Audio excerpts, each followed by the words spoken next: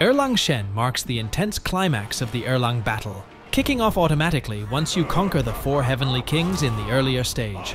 At this juncture, Erlang re-enters the battle, revealing his true form to match your colossal stone monkey appearance. The stakes are higher here compared to the fight with the four heavenly kings, as Erlang Shen delivers significantly more powerful blows and can keep you in a stun lock if you forget to dodge.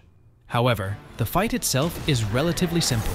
Focus on unleashing as many attacks as you can, utilize Rock Solid to counter his strikes, and don't forget to heal yourself with heavy attacks. Midway through the encounter, a scripted event will occur where Erlang Shen unleashes a fiery breath that will deplete your health. But don't lose your cool, because following this cutscene, you'll miraculously regain all your health. And from that moment on, your attacks will inflict even greater damage. So if you reach this point, Erlang's defeat is imminent. Don't forget to like, comment, and subscribe for more content on Black Myth Wukong and other exciting games. Your downfall!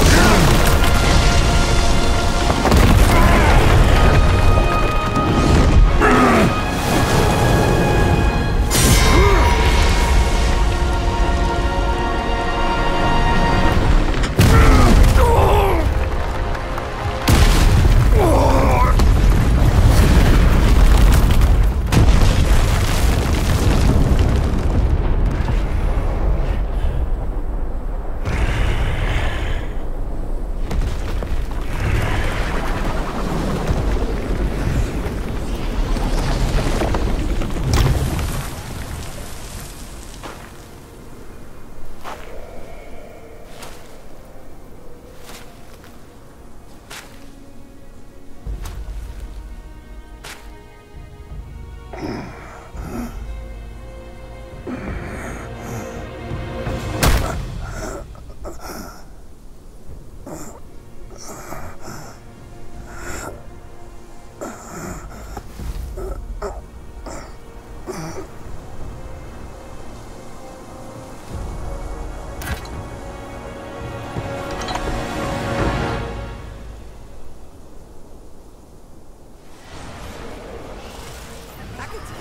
I hear tell this Yao Guai is... I rank a thousandfold above that king. As his sire, he reveres me, and like a deity, he serves me. How dare you think I'm his slave? Kindly chant the loosening spell and release that, Tathagata, so that you can take back my headband and I can be free. The court letting That Yao Guai said he knew somewhat. Surely he is no mere mortal. He must be somebody from the court. Great. The journey ends here. Those eyes wide to bring open. them down Watch me rip it off. and break free.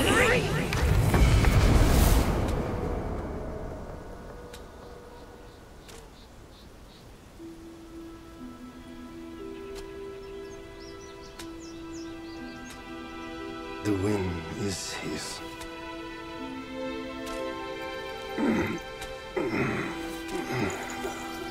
My brothers tested you at my behest.